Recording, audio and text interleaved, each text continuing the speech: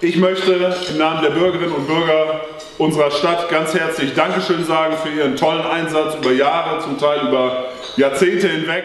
Mit diesen Worten begrüßte Papenburgs Bürgermeister Jan-Peter Bechtluft mehr als 20 Gäste im historischen Sitzungssaal des Rathauses zum traditionellen Neujahrsempfang der Stadt.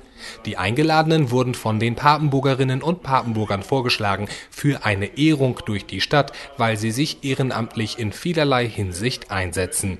Weil Papenburg 2014 ganz im Zeichen der Landesgartenschau, kurz LGS, steht, wurden deshalb Ehrenamtliche im Bereich der Pflege und Erhaltung von öffentlichen Grünanlagen und Gärten ausgezeichnet. Die Stadt Papenburg hätte ohne das Ehrenamt ein ganz, äh, ein ganz anderes Bild abgeben. Das Ehrenamt ist äh, essentiell.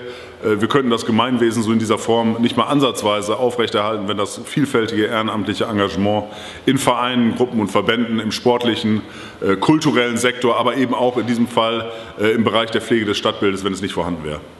Nach der Überreichung der Urkunden entführte LGS-Geschäftsführer Lars Johansson die Gäste in die Welt der Gartenschau.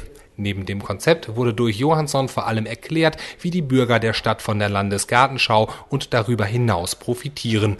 Im Anschluss konnten sich die Geehrten direkt vor Ort überzeugen, denn nach dem Festakt im Rathaus ging es für sie noch einmal zu einer Führung über das Gartenschaugelände.